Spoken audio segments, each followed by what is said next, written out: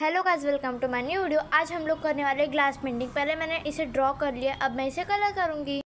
Guys, colour करने के बाद ये कुछ ऐसा लग रहा है, मेरी सिजुका थोड़ी सी टेढ़ी हो गई है, क्योंकि ये मेरा फ़र्स्ट अटैम्प्ट था। Thanks for watching video